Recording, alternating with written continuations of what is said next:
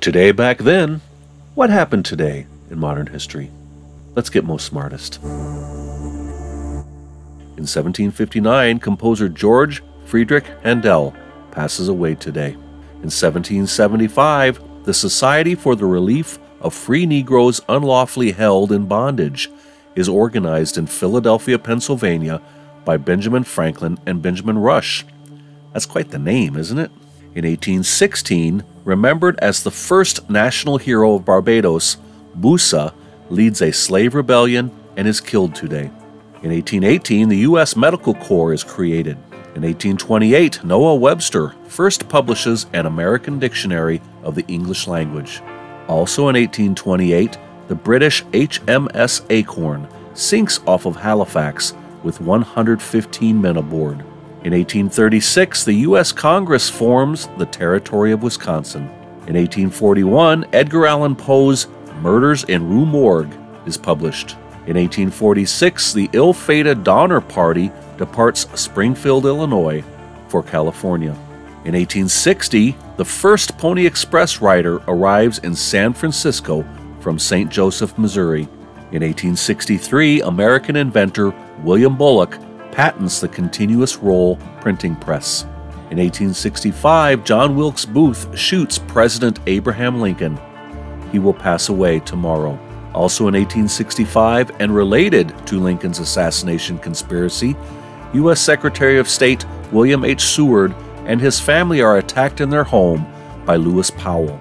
In 1866, Anne Sullivan Macy, Helen Keller's teacher, was born near Springfield, Massachusetts. In 1872, San Francisco organizes the Bar Association. In 1881, the Four Dead in Five Seconds gunfight is fought in El Paso, Texas. In 1890, the Pan American Union is founded by the first International Conference of American States in Washington, D.C. In 1906, the Azusa Street Revival opens and launches Pentecostalism as a worldwide movement. In 1910, U.S. President William Howard Taft begins the tradition of throwing the ceremonial first pitch on opening day of baseball season. In 1912, the passenger ship RMS Titanic hits an iceberg in the North Atlantic at 11:40 p.m. tonight.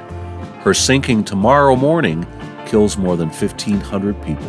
In 1914, Firestone Tire and Rubber Company patents the non-skid tire pattern. In 1925, WGN Radio broadcast their first regular season Chicago Cubs game.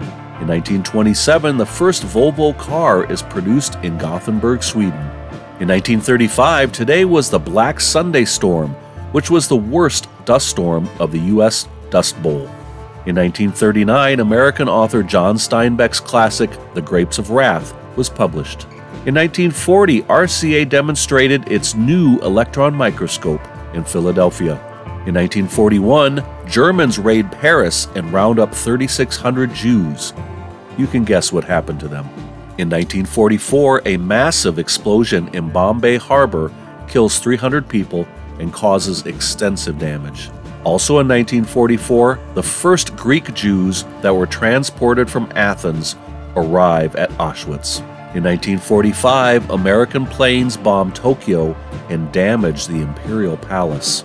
Also in 1945, the U.S. 7th Army and Allied forces capture Nuremberg and Stuttgart in Germany. In 1948, a flash of light is observed in the crater Plato on the moon. Or is it? In 1949, the International Military Tribunal at Nuremberg passes their last judgment today. In 1952, American author Ralph Ellison publishes his debut novel called Invisible Man. In 1955, 26 year old catcher outfielder Elston Howard becomes the first African American to play for the New York Yankees. In 1956, in Chicago, Illinois, videotape is first demonstrated. Also in 1956, Cole Porter's final Broadway musical, Silk Stockings, closes at the Imperial Theater in New York City after 478 performances. And in 1956 as well, Ampex Corporation demonstrates the first commercial videotape recorder.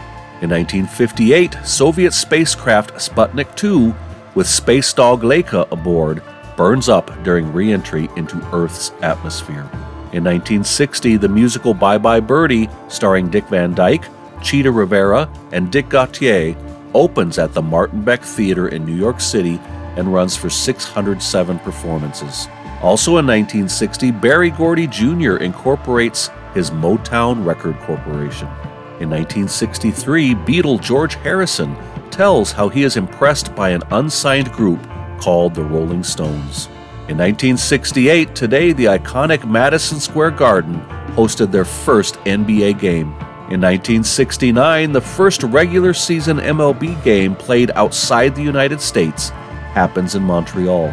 Also in 1969, at the 41st Academy Awards, Oliver, Cliff Robertson, and in the first ever tie for actress, Katharine Hepburn and Barbra Streisand win. And in 1969 as well, a tornado strikes Dhaka, East Pakistan, killing 540 people. In 1971, the U.S. Supreme Court upheld busing as means of achieving racial desegregation. In 1974, acting FBI Director L. Patrick Gray resigns after admitting he destroyed evidence in the Watergate scandal. In 1977, American actress Sarah Michelle Gellar is born. In 1980, at the 52nd Academy Awards, the Best Picture is Kramer vs. Kramer, and Dustin Hoffman and Sally Field win. Also in 1980, the Pulitzer Prize is awarded to Norman Mailer for Executioner's Song. In 1983, U.S. President Ronald Reagan signs a $165 billion Social Security rescue. In 1986, the heaviest hailstones ever hit Bangladesh. They are about 2.2 pounds each, and they kill 92 people. Also in 1986, a force of U.S. warplanes bombed several sites in Libya, narrowly missing Gaddafi. In 1986 as well, at the 21st Academy of Country Music Awards, Alabama, George Strait, and Reba McEntire win. In 1988, the Soviet Union agrees to withdraw from Afghanistan. In 1989, the 1 billion 100 millionth Chinese person is born. In 1992, Guys and Dolls opens at Martin Beck Theater in New York City for 1,143 performances.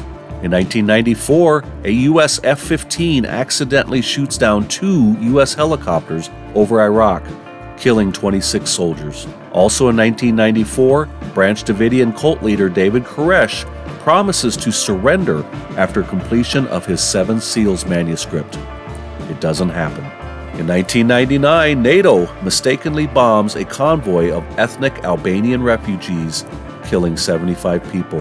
In 2000, heavy metal band Metallica files a lawsuit against P2P sharing phenomenon Napster, which eventually leads the movement against all file sharing programs. In 2003, started in 1990, today the Human Genome Project is completed. Also in 2003, U.S. troops capture Abu Abbas, the leader of the Palestinian group that killed an American on the hijacked cruise liner called the MS Achille Lauro in 1985.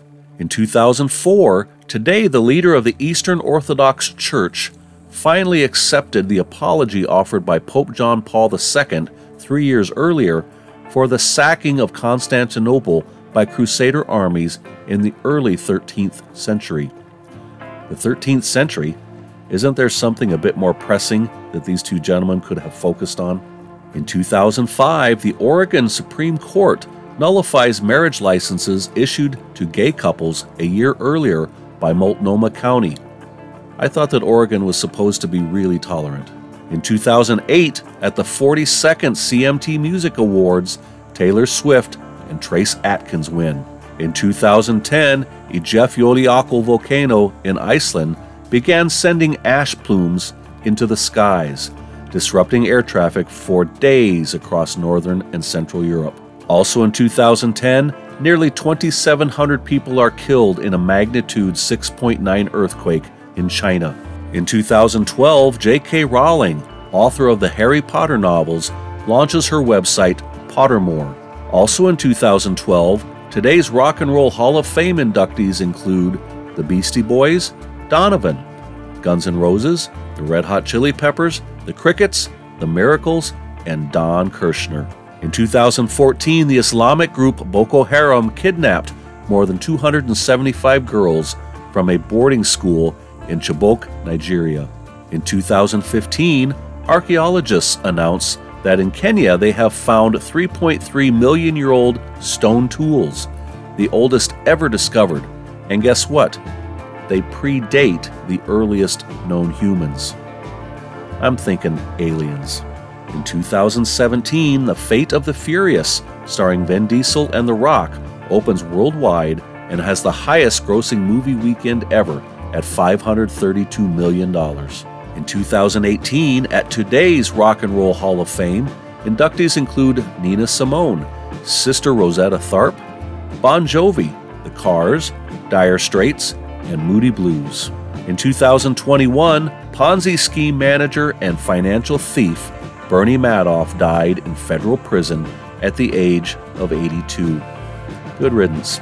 And lastly, also in 2021, the former Minnesota police officer who shot Daunte Wright with a gun instead of a taser is arrested and charged with second degree manslaughter. Hey, thanks for watching my video today. I hope you enjoyed it.